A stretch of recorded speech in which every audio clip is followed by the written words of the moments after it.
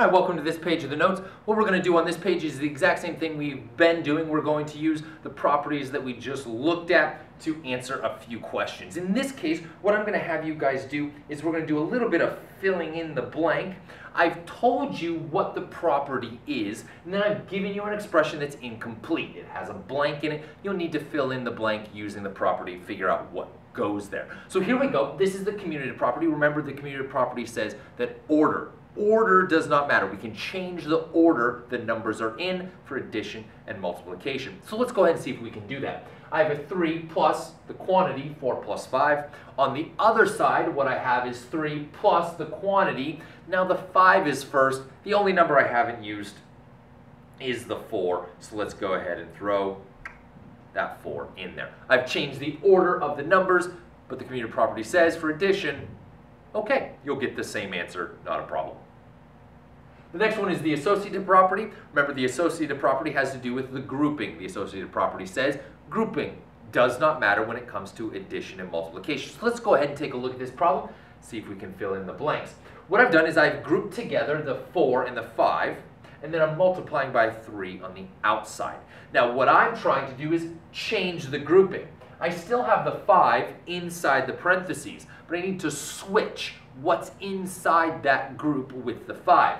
Over here on the right, the 4 was inside the parentheses with the 5. So on this side, the associative property would say, put the 3 inside with the 5.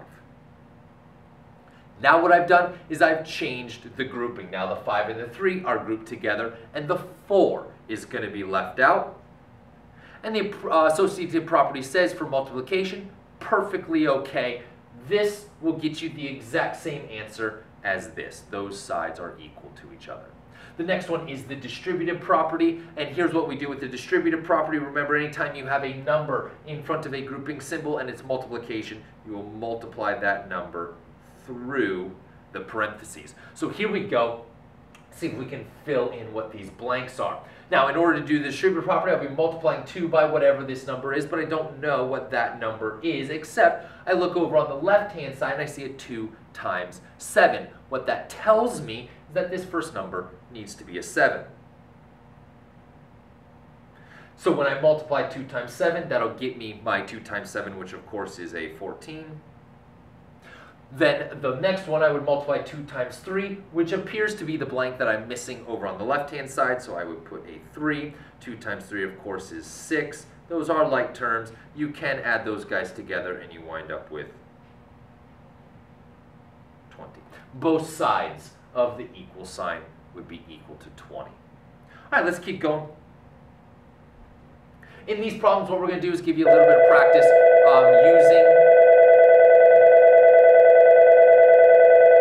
We're going give you a little bit of practice using the distributive property. Um, again, should be very familiar with this from Algebra 1, but just give you a chance to practice it a little bit here. The way the distributive property works, and I would still go ahead and draw the arrows. I think they're very helpful. I'll draw them almost every time. Feel free to use them as well. We're going to distribute the 2 through the parentheses, and that is going to give me 2 times a, which is a 2a, and then I will add to that 2 times k, which will be a 2k. Now, at this point, you would then look to combine like terms. Remember, like terms, the same variables raised to the same powers. We don't care about the numbers. Twos are the same, but it doesn't matter according to our definition of like terms. Just the variables matter, and they're not the same variable. You cannot add these guys together, not like terms. Let's try the next one.